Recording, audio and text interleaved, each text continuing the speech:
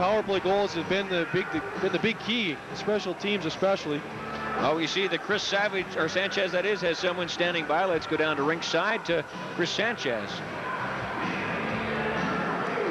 Okay, here we are live with Chris Jamieson. He is the number one scorer in the ACAC division. Now, Chris, uh, can you tell us a bit uh, about what Coach Babby talked to you about prior to the game? How did he motivate you for this game? Um, he just, you know, let everyone know it's our last game of the uh, of this of this year, and he said, you know, if we want first place, it's there to be had, and if you don't, well, don't come out. So everyone bought in, and we're ready to go. Now, do you believe you'll uh, the coach will want you to train, change your strategy to make a more defensive hockey in this next period? I don't think we really need to change anything. We're we're, we're, we're beating them to the pucks and that. We just got to keep doing that. And uh, if we keep doing that, they won't really get a chance to get, get any goals. So we don't really have to jump back into a defensive shell.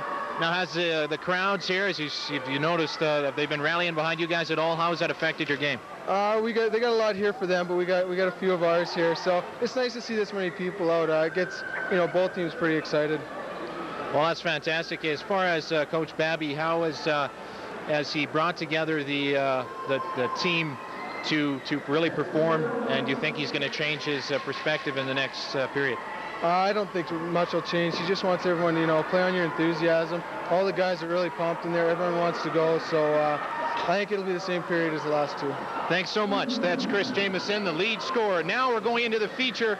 Let me tell you a bit about that. There's been a rivalry between the Mount Royal College team and the Trojans for quite some time. They're cross-team rivals, or cross-town rivals, rather. And uh, Steve Hepner now has the inside track on that story.